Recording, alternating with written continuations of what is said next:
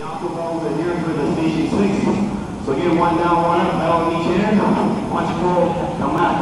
Punch more come back. If the bell's too much, put the bell aside, and you just push through the water, kind of hug squeeze for a combination. All right?